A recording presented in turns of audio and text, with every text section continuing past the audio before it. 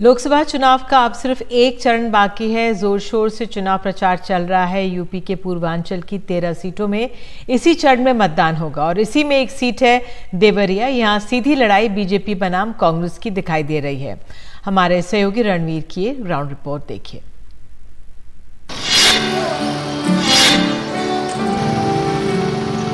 मोदी जी और राहुल गांधी में कौन अच्छे लगते हैं? हमको तो मोदी जी अच्छा लगते हैं।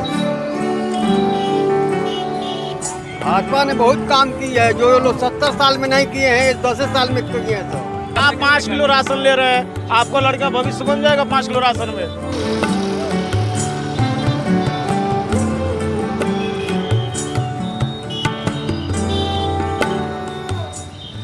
बिहार की सीमा से सटा है पूर्वी उत्तर प्रदेश का देवरिया जिला।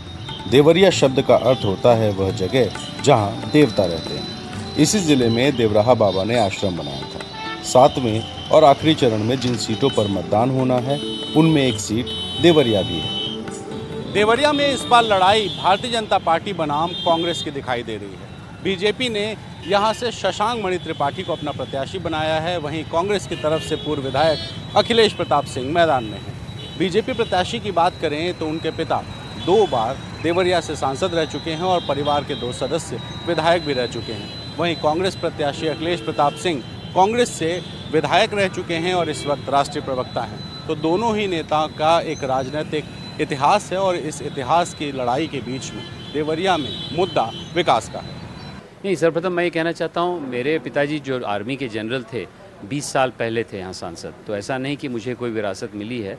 हाँ ये बात सही है कि हमारा ब्रांड, हमारे परिवार का साफ़ सुथरा है। लोग बोलते हैं, भाई, जो कहते हैं वो करते हैं, नहीं कहते तो नहीं करते हैं। तो इस प्रकार का ब्रांड तो अवश्य मुझे मिला है मेरे विरासत में लेकिन उसके अलावा मैंने एक अपनी अलग राजनीति की इमारत खड़ी करी है और 20 साल में राजनीति भी बदल गई है।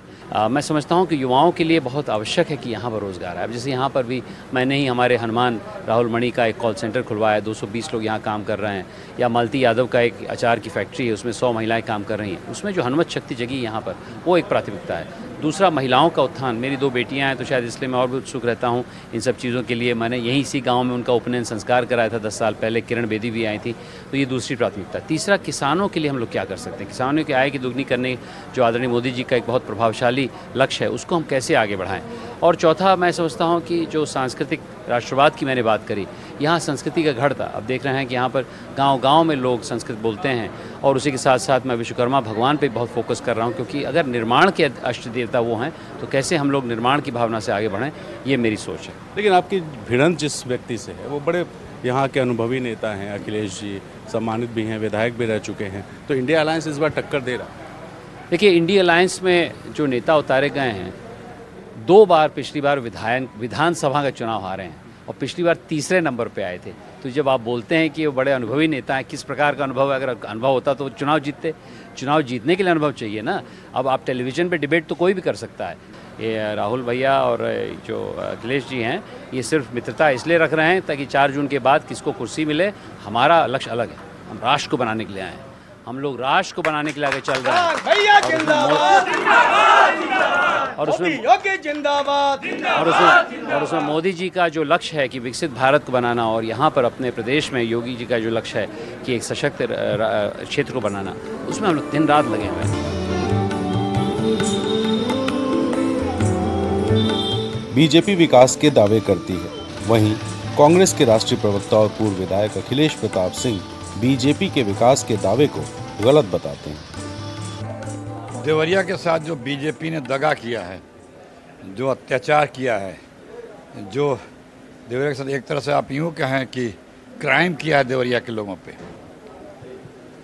विकास ठप कर दिया है। झूठे वादे किए झूठे शिलान्यास किए हैं। ऐसे ही कुछ आरोप वो लगा रहे हैं कि भाई टीवी पे डिबेट कर लेने से कोई बहुत नेता नहीं हो जाता है। देखिए हाँ, ये तो इसका कोई हम जवाब नहीं दे सकते क्योंकि हम यहाँ विधायक रहे हैं। हमको लोगों ने परखा है, हम विपक्ष विधायक थे। हमने अपनी विधानसभा से ले करके देवरिया तक मेडिकल कॉलेज में लाया गोरखपुर से देवरिया, सलेमपुर, फोर लेन में लाया रुद्रपुर से गुजरबाद में लाया लेकिन किसी से पूछ लीजिए, अखिलेश प्रताप सिंह कौन है, क्या किए हैं? देवरिया में एक इंजीनियरिंग कॉलेज नहीं है। देवरिया के बच्चे बारह के बाद पलायन करते हैं दूसरे जिलों में, बड़े शहरों में जा के पढ़ने के लिए।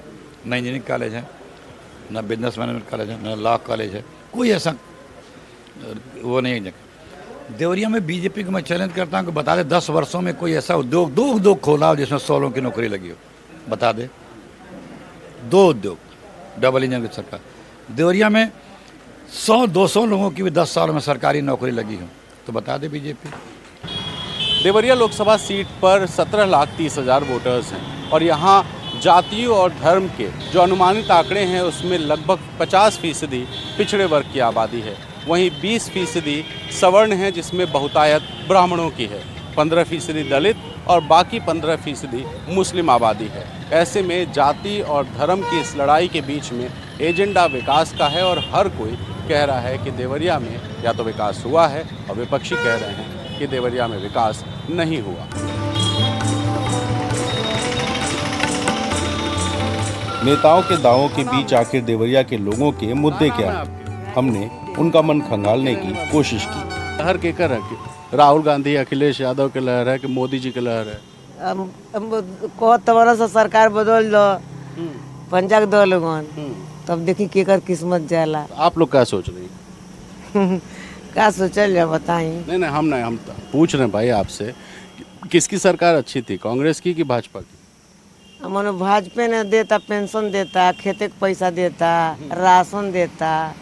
अपन लड़का एक रुपया नहीं देता उ तो बेचारा देता के। मगर इहो दिया तो इन्हें दिया जाई। केकर लेकर नहीं देता? हमार लड़का कमाता तो हम जितना चाहब उतना हमके दे आ उ तो मनोमान के हुआ भाई हुआ चाहे कुछ हुआ तो देता ना? न मोदी। आ हर महीना एक हज़ार पेंशन देता न। राशन देता न खाता नहीं जा नमक खिया दिए बा न मोदी जी का नमक खाई है। खैले नहीं की जा? हाँ। विकास हुआ है? बहुत विकास हुआ है। तो हर एक चीज़ गाँव से लेके हर जगह विकास हुआ है। हाँ। अच्छा मोदी जी और राहुल गांधी में कौन अच्छे लगते हैं? हमको तो मोदी जी अच्छा लगते हैं। हाँ। इसलिए हर गाँव गाँव में जो राशन के लिए हर एक चीज़ के लिए जो सुविधा जो दिए हैं ये पहले सरकार थी तो नहीं मिल रहा था। अच्छा राहुल गांधी कह रहे हैं कि हमारी सरकार आएगी तो हम एक लाख रुपए डालेंगे महीना। ये गलत है ये गलत है। हाँ। तो सरकार आई नहीं है तो गलत कैसे मान आ, सरकार आएगी उसके बाद भी वो नहीं कर पाएगी। नहीं कर पाएगी। नहीं यकीन है। सत्तर साल से वो क्या किए? सत्तर साल तो राज किए पैंसठ सत्तर साल। पैंसठ सत्तर साल में क्या किए? हम्म, हम तो कुछ नहीं देखे हैं। आइए सरकार सरकार आते ही बहुत कुछ हो गया। देवरिया में फिर भाजपा जी भाजपा ही जाएगा। इंडिया अलायंस आ गया है। अखिलेश राहुल की जोड़ी बन गई। नहीं होगी बिखर जाएगी। भाजपा फिर आएगी। आप एक पता है सर। अरे सारे लोग जितने लड़के हैं पूछिए। हाँ सारे- वोटर हो। तो हाँ, कह रहे हैं सही है कौन जीत रहा है? भाजपा जीतेगी और कौन जीतेगी? कोई शक ही नहीं है। कोई शक नहीं अब की बार तो 400 पार होना ही। है। हाँ हाँ। वजह क्या है? वजह क्या है? बनिया लोग के लिए भाजपा सही है। पर ऐसा नहीं है कि सब खुश हैं। कुछ ऐसे लोग भी हैं जिन्हें लगता है कि सरकार ने संतोषजनक काम नहीं किया। क्या नाम है? राम ध्यान। राम ध्यान? तो आपका ध्यान कहाँ चुनाव पे है कि हाँ, नहीं? चुनाव तो है ही है? हाँ? है। है। हाँ का माहौल है चुनाव का चुनाव का माहौल बता दिए हमारे तरफ़ से भाजपा जा रही है। जा रही है? एकदम जीत पर जीत डंका पर जीतती है। जीत रही है? हाँ। आप कह रहे भाजपा जा रही है। वही जा रही है वहाँ दिल्ली। अच्छा दिल्ली। हाँ। पक्का है। पक्का है एकदम। कोई शक सुबह चौहान सोनार जितने बनिया समझ गए? आज जितने बुद्धिजीवी समझदार लोग प्रधानमंत्री को नरेंद्र मोदी के सिवा दूसरे को नहीं चुनेंगे। जो समझदार होगा थोड़ा सा भी दिमाग होगा। नेता हैं आप। हाँ नहीं नेता नहीं है किसान है। महाराज इतना आप राष्ट्रीय सुरक्षा देखिए आप। हाँ। पत्रकार हैं आप। राष्ट्रीय सुरक्षा भी देख लीजिए। गुंडागर्दी देख लीजिए। है गुंडागर्दी? अब कहाँ है? कोई कुछ नहीं। कई बजे बारह बजे रात में लड़कियाँ जाती है कोई बोलता नहीं है डरन। कि अगर तनी से अगर कर दिया तो फिर हमारी ज़िंदगी चौपट हो जाएगी। कि काले मतलब कि कंपनी देवरिया के अंदर कोई नहीं है। लोग बेरोजगार हैं। कोई पार्टी आई कोई कंपनी नहीं खुलवाया यहाँ। लोगों को मजदूरी नहीं मिलता है। भाजपा कराई है। अभी तक तो नहीं हुआ है। दस साल में कोई चौदह मिल था देवरिया के अंदर शुगर मिल सारी बंद है। उजड़ गई। कह रहे हैं यहाँ कुछ कमुए नहीं हुआ है? कहने का मतलब है कि पहले कौन काम हुआ था? सत्तर साल पहले कौन काम हुआ था देवरिया में? हुआ था। इधर देखिए क्या हुआ था? कैमरा में देख रहा हूँ सत्तर साल में कौन काम हुआ था बताइए हमसे। हाँ। कोई काम तो नहीं हुआ था। एक रास्ता भी शुद्ध नहीं बना था। अब हो गया है। हाँ एकदम हो गया है। चलिए गाँव में सड़क देखिए। क्या भैया चाचा सही कह रहे हैं। कह रहे बहुत काम हुआ है देवरिया। काम कोई नहीं हुआ है। दस साल में सरकार है भाजपा की कोई काम हमको दिखला दे। चाचा जो कोई काम हुआ हो। आज युवा बेरोजगार हैं। सबसे बड़ी चीज़ बेरोजगारी मुद्दा है। आप बताइए टोटल कोई वैकेंसी नहीं निकल रही है। वैकेंसी निकल भी रही है तो लीक हो जा रहा है पेपर लीक हो जा रहा है। ऐसा क्यों? क्योंकि केंद्र में भाजपा की सरकार है प्रदेश में भाजपा की सरकार है फिर पेपर क्यों लीक हो जा रहा है? ये प्रश्न पहला विषय है। जवाब देंगे चाचा। हाँ, जवाब ये है तो हमने एक बात आपसे बता दिया। सत्तर साल कांग्रेस रही अखिलेश भी रहे कौन फैक्ट्री खुल गई देवरिया में? इनको बताइए इन्हीं से पूछ रहा हूँ कौन फैक्ट्री खुल गई भाई देवरिया में? वो कह रहे हैं रोज़गार तो है नहीं पेपर लीक हो जा रहा है। अच्छा पहले नहीं होता था का पहले भी तो यह क्रिया होती थी। पहले तो पहले जात विशेष पर भर्ती होती थी। हाँ और का हाँ भाई पहले नहीं होता था। एकदम नहीं होता था होता था लेकिन इतना नहीं होता था जितना भाजपा सरकार में भ्रष्टाचार हुआ विकास हुआ है कि नहीं? विकास कुछ नहीं देख रहे आप देख सकते हैं कोई विकास हुआ है। भाजपा ने बहुत काम की है जो लोग सत्तर साल में नहीं किए हैं दस साल में किए हैं सब। क्या क्या हुआ दस साल क्या क्या किया? राम मंदिर बना ही है तीन सौ सत्तर धारा लागू खत्म हो गया है। महाराज एक बात बताइए हमको समझाइए जरा ये 370 से आप लोग को लाभ क्या है? हाँ लाभ है ही है लाभ है ना। लाभ है ही है। 370 से आपको क्या फ़ायदा हाँ, वो नहीं बता पाए। बस इसी से खुश राम मंदिर बन गया इससे खुश। है। हाँ? मोदी जी कैसा काम कर रहे हैं? बढ़िया काम करते हैं। और राहुल गांधी? राहुल गांधी नहीं इतना करते थे। अखिलेश की सरकार भी देखे होंगे। कैसे? अखिलेश के सरकार में तो केवल गुंडई था। सिर्फ़ पूंजीपतियों के लिए भाजपा की सरकार। तो ये कहाँ पूंजीपति हैं? ये ये सिर्फ़ पाँच किलो राशन के लिए ये लोग हैं। रोज़गार नहीं चाहिए इन लोगों के लिए। हाँ। सबसे मेन मुद्दा है रोज़गार। अब की पार 400 के पार। कौन? नरेंद्र मोदी। वजह क्या है?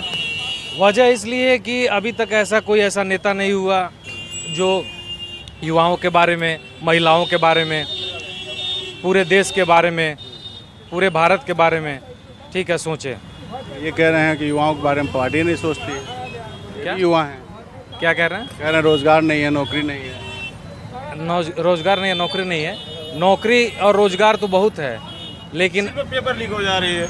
पेपर लीक होना वो अलग की बात हो गई। क्यों अलग की बात है? पेपर अगर सरकार बढ़िया थोड़ी अगर सरकार बढ़िया है अगर सरकार बढ़िया है तो हाँ। सरकार बढ़िया चला है पेपर लीक कैसे होगा? सरकार तो बहुत बढ़िया से चल रही है। अब कैसा सरकार चाहिए आपको? सरकार है। किस पूंजीपतियों की सरकार है? ये आप आप पाँच आप किलो आप पाँच किलो राशन ले रहे हैं। आपको लड़का भविष्य बन जाएगा पाँच किलो राशन में। पाँच पाँच किलो राशन से भविष्य तो नहीं बनेगा लेकिन लोगों का पेट तो भर रहा है। क्या पेट भर रहा है? आप सौ किलो मांगा सौ किलो गेहूँ कर दीजिए। बाकी भूखमरी बढ़िया था। कांग्रेस की सरकार में भूखमरी थी बढ़िया था। शिक्षा मुक्त कीजिए आप। कांग्रेस की सरकार में भूखमरी थी बढ़िया था। कम से कम लोग जी तो रहे हैं। अपने आत्मनिर्भर तो हो गए हैं अपने बलबूते पे तो जी रहे हैं। ठीक है आप पाँच किलो राशन निर्भर हैं कि नहीं है? आप पाँच ठीक है आप लोग पाँच किलो राशन पर जीत आप लोग पाँच किलो राशन पे लीजिए और दीजिए और कोई बात नहीं। हाँ भैया। इस पर सिंह दोनों लोग अलग अलग कह रहे हैं। ये कह रहे हैं बहुत काम हुआ भाजपा में ये कह रहे हैं एकदम काम भाजपा से लोग नाराज़ बा।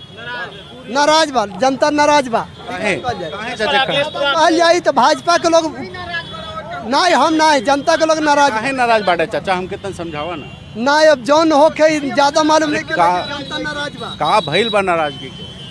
अब ज़्यादा जन का सरकार काम कैसा की सरकार के इतनी अच्छा नहीं सही बताओ। नाराज़ वही अच्छा, है। मोदी जी कैसे लगते हैं? जनता कहता कि मोदी जी से बार बार कहता कि भाई बैलेट पेपर से वोट करावा ईवीएम मशीन नहीं चाहिए नहीं। ईवीएम मशीन बा कहीं डीएम की गाड़ी में ईवीएम मशीन पकड़ाता। अरे पहले ये बताइए ना। की गाड़ी में पकड़ ईवीएम मशीन अच्छा पकड़ाता। मोदी नहीं मान तारी कांग्रेस जीत जाता बीजेपी हार जाता मोदी से कहल जाता। सुनी मोदी से सवाल अच्छा है। हाँ। जहाँ कांग्रेस जीत रही है वहाँ सही है ईवीएम अच्छा ये नहीं ना चुराएगा कुछ छोड़ेगा नहीं वो। अच्छा सुनी ए बात बा, मानता नहीं कांग्रेस जीत गए है तो मानता नहीं सुनी बताओ तनी। अरे बात तो सुनी ईवीएम के ईवीएम ओजा सही बचा नहीं के बात जनता कहता है कि बैलेट पेपर से हुई। अरे चाचा हम एक सवाल अरे रुको मोदी साहब कहता है नहीं यही से हुई।